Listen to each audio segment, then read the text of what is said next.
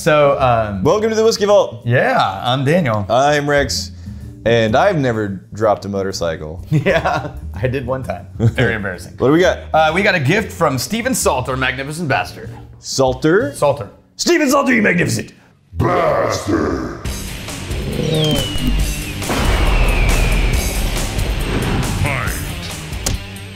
So this is Dettling Alabama bourbon. Actually, according to all the things, made in Alabama. I haven't.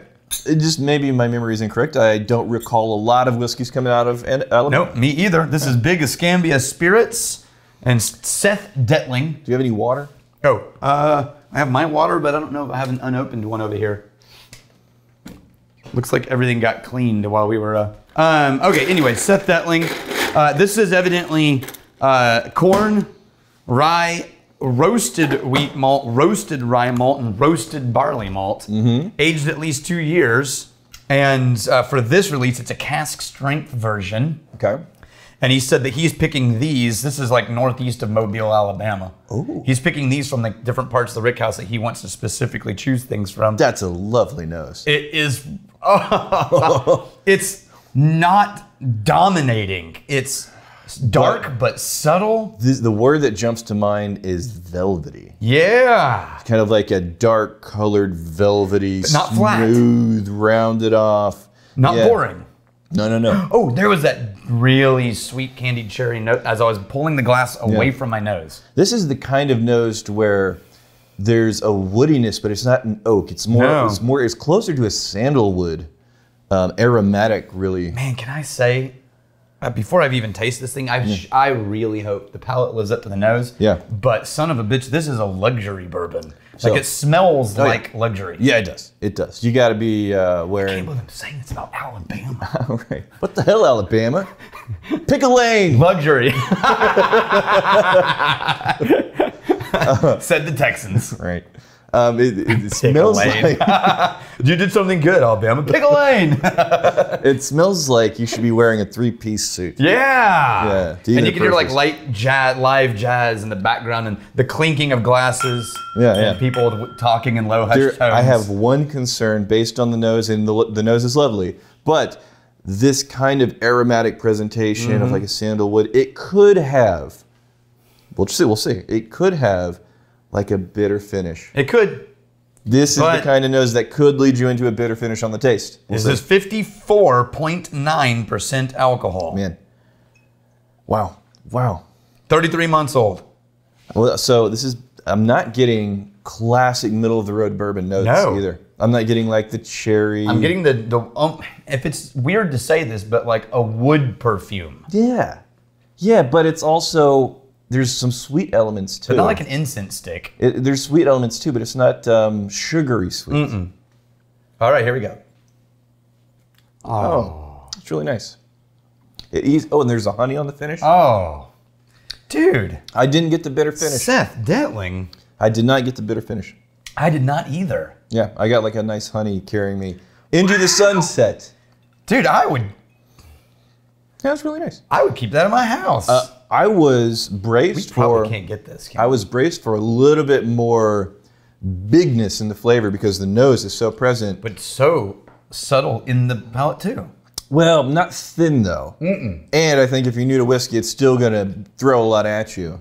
But if you're used to like the cask strength world, it's not going to be any kind of struggle. Okay, the odds of people getting this are pretty low, but what do we compare it to? You still had some left. I just needed enough to get water. I didn't know it was a raise. That was so that was so bitter. I didn't know it was a race. Stupid, stupid What would you compare this to? Because I, we need to compare it to something that people might be able to get their hands on, but I don't know what to compare it to. It wakes up the wood on the nose. Yeah. the water. Don't swish it too much. Let the oil sit on the top. Yeah. And then there's that honey is still in there. It gets like um like a molasses tea mixture for me on that nose. Ooh. It's still really nice. It's still it's a little simpler. And it's a little fruitier too. Yeah. With the taste. I like the better at cast, but I really like this too. Was it cast? I bet the proofed down version is still pretty good. so the cask is 54.9. 54.9% ABV. Yeah. Yeah. What do we compare that to? That people might be able to get. I can't think of anything. Honestly, the last shoot we did was a Rare Whiskey Friday. It may not be the last video that came out mm-hmm. because the- ordering of things. Right. But one of those whiskeys, they all surprised us. Yeah. One of those whiskeys I feel like is getting towards that kind of presentation. Maybe. I don't know. But those were rare. I need something not rare. Oh. Something easy to get that you It's would be gonna like. be. Is there like a cask? what about the Jim Beam Extra Black or something like, like that? Like something close to cask? What do we have in the proof in the proof You read world? and I'll look. All right, we got dim dim dim dim X. Whenever Daniel tells a story, I always have to ponder how old he is. Yeah, how old do you think I am? Um, I think what are you 41, 42? 41. 41. Headed 42. Huh? Head, headed towards Or- 42. So 41 going on 70. yeah, that's probably more accurate. Back in my day. I remember this one time. How about Elijah Craig Barrel Proof? yeah. I don't remember it tasting anything like this, But but I want to. okay. We've got uh, a 65 percenter here. Ed Stafford, there is only one way to determine the ice lord. this is to get one of those carnival style dunk tanks and fill it with ice and cold water and see who can last the longest submerged to the neck. You know I'm going to last the longest. Yeah, it- here's the thing. Just from pure stubbornness, So, Rex would be willing to cause like physical damage to Oh, yeah. himself. Oh. Just to make sure that I got out first. oh yeah, no, no, no. Like, uh, like the whole world of like machismo and posing and flexing. Like that's, I don't really have a lot of street cred in that world. But I grew up in small town Texas. Right? Yeah. Yeah, and my, my college roommates learned this the hard way. It's like, ah, screw with Rex. He's he's like the closest thing we know to a theater nerd, which I was never in theater, but that kind of mindset. And never once do we have a head-to-head challenge that I didn't win. Yeah. See, I looked it up, and you shouldn't stay in an ice bath for more than like 15 minutes, according to doctors. I don't care. And I would stay 15 minutes. I don't care. I'd be fine. I don't care. It'd be painful, but I'd do it.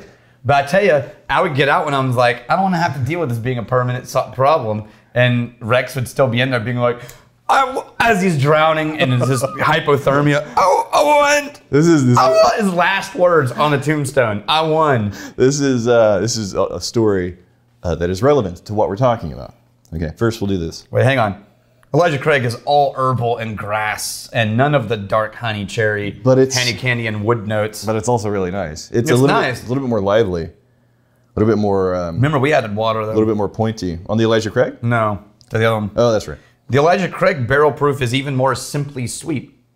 It is. It's more sugary. I much prefer this. It's got more wood bite. Go back to that. No, the- it's got the- more wood bite and pepper. But the wood isn't that bitter tannic barrel No. oakiness. It's a different presentation. It's an aromatic, almost a sandalwood quality. He got all of the wood notes Yeah. with none of the tannins, and I don't know how he did that, but it's delicious. That's really, really good. Uh, it was the middle of winter. Me and my roommates were in the car, and one of them started giving me crap, saying like, "Oh, I'm tougher than you. I'm stronger than you." I was like, "All right, uh, I think I have more endurance than you.